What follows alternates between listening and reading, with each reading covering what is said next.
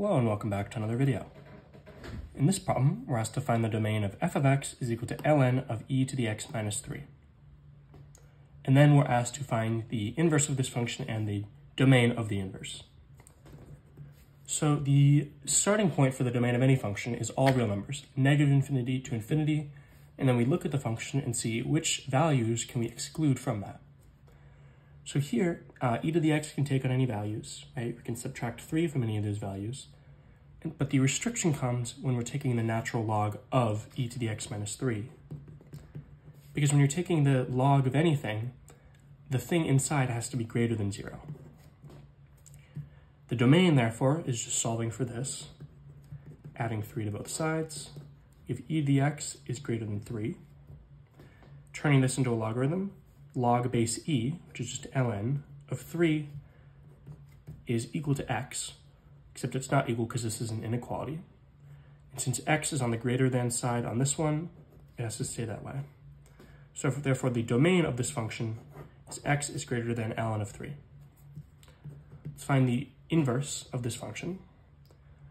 We have, let's say, in the xy plane, y equals ln of e to the x minus 3. And the way you find the inverse is you swap x and y. So x equals ln of e to the y minus 3.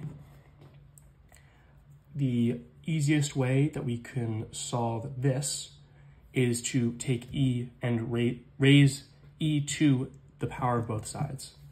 If that makes sense, so we have e to the x and e to everything on the other side, ln of e to the y minus 3. These are equal, and making sure that's separate. e to the x remains the same. This is e to the log base e of everything inside the parentheses. e to the log base e means that this whole thing is just e to the y minus 3.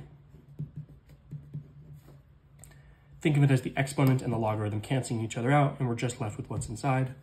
And we get e to the x, adding 3 to both sides. e to the y is equal to e to the x plus 3.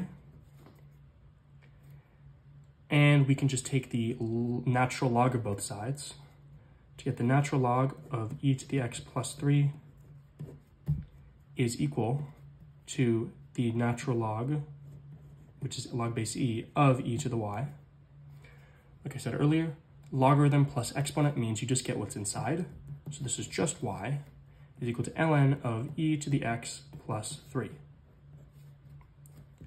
So this is the inverse of the function.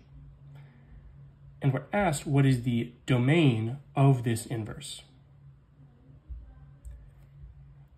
And again, the only restriction on this is that what's inside the natural log has to be greater than zero.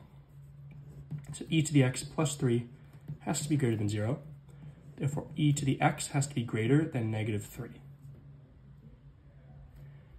And we know by being familiar with exponential functions that the standard function e to the x is always greater than zero, right? If we just want to graph it quickly, it starts off very close to zero, and then it goes off to infinity, but it never goes less than zero. Therefore, it's never even coming close to negative three. So for any value of x, negative infinity to infinity, we will get a, value, a valid output of our function here. Therefore, the domain of f of x is equal to ln of e to the x minus 3, is that x must be greater than ln of 3. The inverse of this function is ln of e to the x plus 3, and the domain of that is all real numbers.